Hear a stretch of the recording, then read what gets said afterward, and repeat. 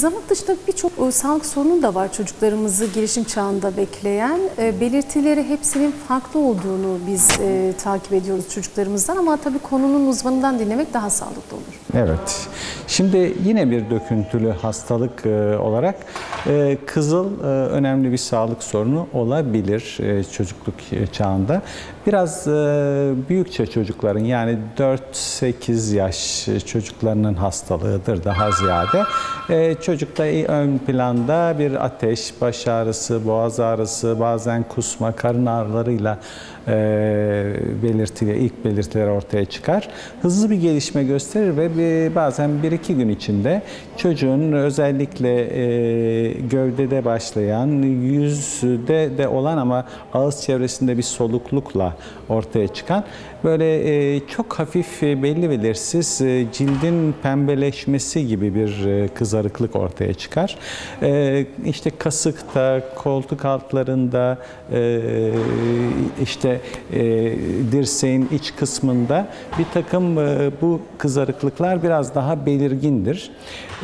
Çocukta baktığımızda e, dilinde bembeyaz bir görünüm algılarız ilk planda. Daha sonraki bir birkaç günde bu kıpkırmızı bir hal alır. Çilek dili dediğimiz e, beyaz çilek ve kırmızı çilek. Bu kızılın tipik belirtilerinden biridir.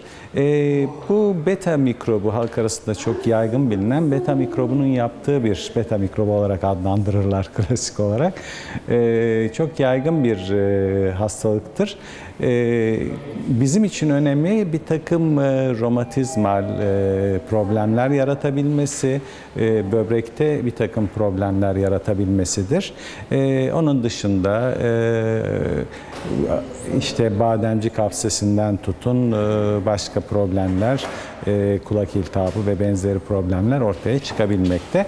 Tedavisi hızlı bir şekilde antibiyotik e, başlanmasıdır. Uygun antibiyotik ki en etkili burada e, ağızdan penisilindir. E, hızlı bir şekilde toparlar. Bulaşıcılığı önemlidir çünkü e, e, çok e, yaygın bir şekilde yani sınıfta da e, özellikle yan yana oturan çocuklarda birbirine geçme ihtimali yüksektir. Nefes yoluyla mı yoksa? Tabii solunum Evet, yoluyla bulaşmakta. Bu döküntülü hastalıklarımızın çoğunda solunum yoluyla bulaşma vardır. O yüzden hani hızlı bir şekilde birbirine bulaş söz konusu olabilir. Ama tedavisi nispeten kolaydır.